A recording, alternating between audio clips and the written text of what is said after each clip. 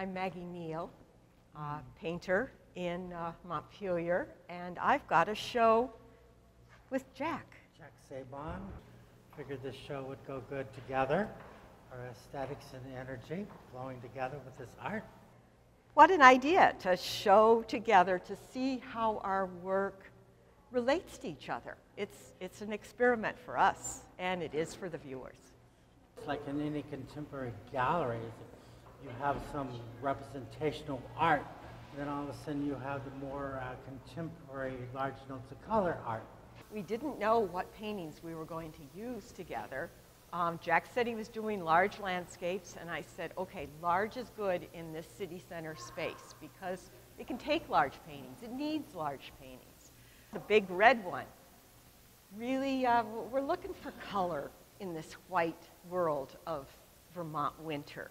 And we're looking for water forms. So uh, there's the energy that the red one has moving with the energy of the green wave.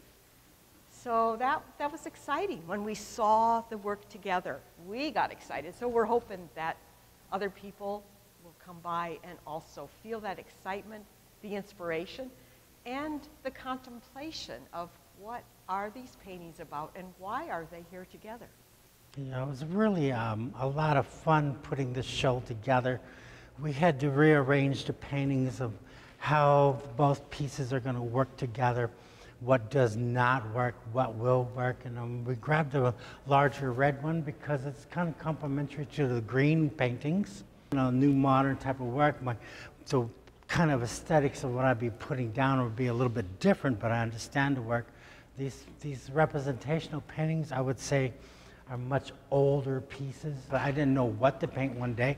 I looked out my window and I saw this scene.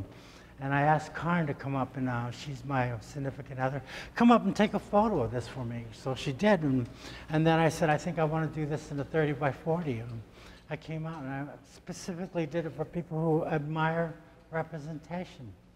Then along with the energy of the wave paintings, which I just love because I love being in the waves and I almost kind of like the dangerous feel of them. You know, it's like kind of being right out there with that water. It's like trying to understand it. So, you know, trying to understand the hydraulics, the movement, the foam, the thinking. You know, it's like and the light too. So, Maggie.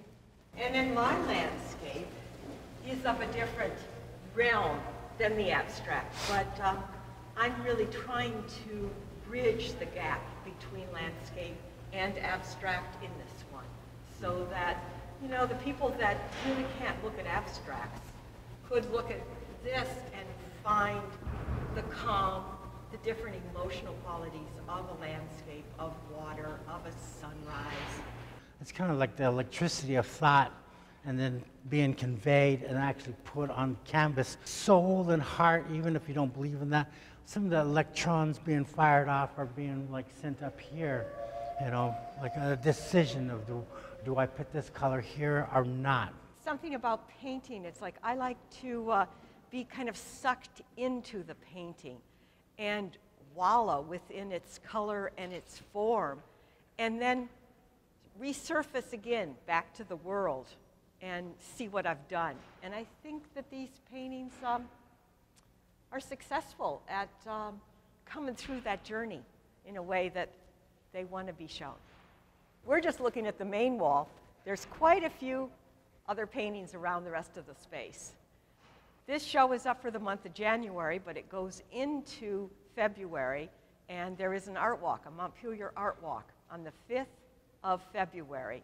And this show will be our closing night. Come see a lot of art in Montpelier and come see this, uh, this conversation that Jack and I have made with our painting.